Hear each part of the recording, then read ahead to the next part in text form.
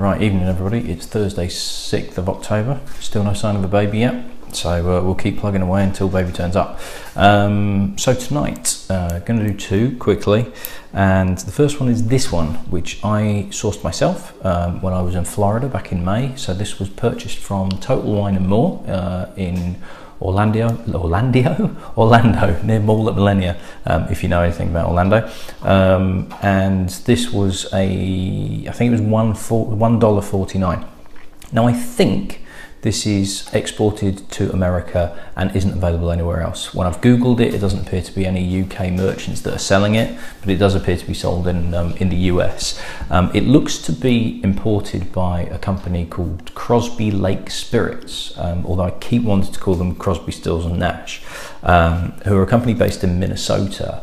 But if you um, I found a review where they had crosbylakespirits.com and it goes straight through to another company called Prestige Beverage Group. Yes, Prestige Beverage. So it, it sounds like it's a conglomerate of importers um, that are in the States. They do the Dubliner, which I did the other day, um, and they also, on, on the Prestige Beverage website, they talk about Glenmorangie and Opihr Gin and a few things like that, which I know are different suppliers over here. So I think they're importing these spirits for sale in the US.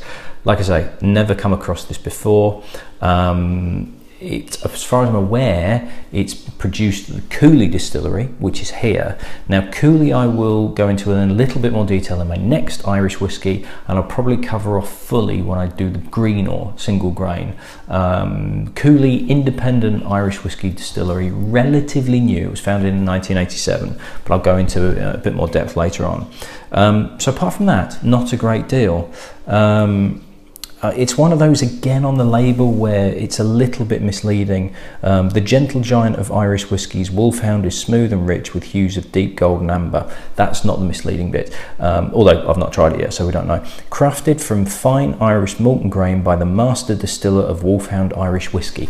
It, that wording sort of implies that there is a Wolfhound distillery. There's not. Um, but it's one of those things where the wording on the label can give you the impression that it's something that it's actually not. Um, Irish Wolfhounds, very popular dog. Uh, Irish Wolfhound looks like this. Um, this actually reminded me, and I ended up looking at a very, very old Lenny Henry um, stand-up video from back in the 80s. I can't remember what year it is. I think it's 1986 or something like that. Um, I had a VHS copy of it when I was a kid, and it was one of the funniest things I'd ever seen. It's dated a bit now, but he did have a joke where he talked about growing up in the 70s in Birmingham or Dudley, where he lived, um, and there used to be signs on the doors of all the um, shops and pubs saying no blacks, no Irish, no dogs. So if you were a black Irish wolfhound, you were screwed. Um, and just seeing that just reminded me of um, watching that. So yeah, I've spent about half an hour watching a very old Lenny, Lenny Henry stand-up video um, on YouTube, as you do. Um, if you don't know who Lenny Henry is, um, then you probably um, aren't based in England or the UK. although he did a, uh, he did try and break into Hollywood by doing a film where he pretended to be a white guy. He was an undercover cop and it was it wasn't true identity but it was something identity. So look it up if you can and if you can remember what it was called. I don't think i've ever seen it but i remember him being in that film and that was him trying to break into hollywood from the uk failed obviously. Um, but yes if, if you're in the uk you'll know who lenny henry is. Anyway so um, that's about it in terms of information. Not a great deal. So it's just down to what's in the, in the glass itself um, now, this to me looks like it's got colouring added to it. Again, I still don't know. Nobody's even commented um, about whether Irish whiskies do use colouring, whether they don't, that sort of thing. But excuse me, I've got a bit of an itchy nose. Um, this looks like it's had colouring in. It's a slightly orangey colour that just it doesn't look like any of the other um, Irish whiskies that I've had, which have looked quite bright and fresh. Whereas this looks a little bit dull and a little bit a little bit too brown for want of a better word. Um, I forgot to mention it's 18.99. This is what the bottle looks like full size, um, which is just a bigger version of this. Um, but it's $18.99 at Total Wine, so uh, about 18, 19 bucks, which isn't expensive, let's face it. So uh, my hopes aren't raised for this. Cooley do do some very good whiskies indeed, but a preconception, just looking at the price, the fact that it's only available in the US as a kind of entry level Irish whiskey, it makes me feel like this could be Cooley's lower end stock that they're not really taking that much care of. But we'll see. We could be pleasantly surprised. But like I say, the colour is it's a little bit flat and a little bit a little bit too brown for my liking.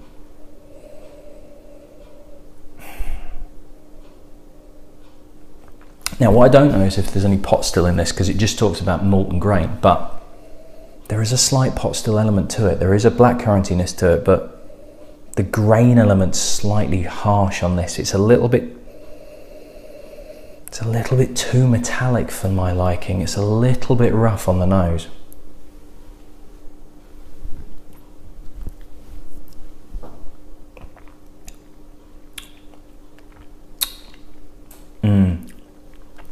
It's a bit too much of a grain bite, and there's not a great deal else. There's a little bit of a, a sort of butterscotch element, it's, but it's a little bit too sickly sweet what's there, and then it dies off quite quickly.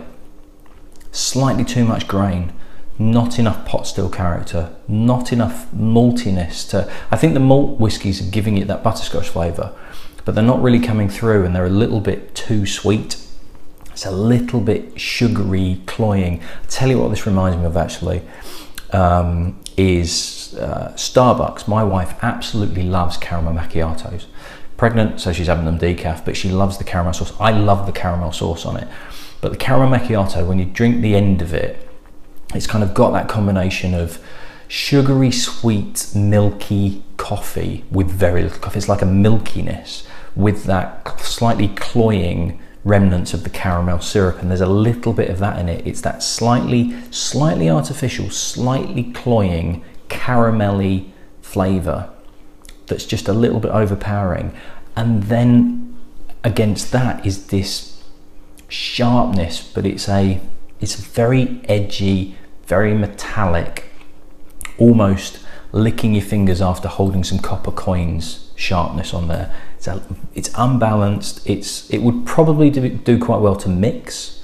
Um, apparently, you know, official tasting notes, or from what I found from one review, where they, they it wasn't even a review, it was kind of talking about it and saying, you know, they recommend adding spring water, and if you want to mix it, add it with ginger ale. I can sort of see how this would work with ginger ale more so than Coke, because the sweetness will go with the ginger ale, but it's got that bite to really cut through. But as a to drink neat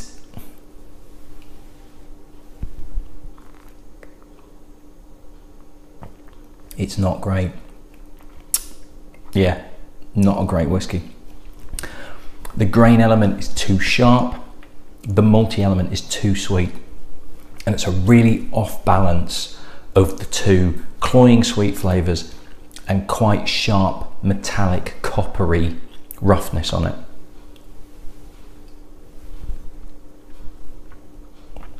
But for $19, you'd be looking at this as a mixer area. As in a mixer, it's probably got enough in it that it's going to do the job. I would recommend it as a mixer. I think there is enough in there.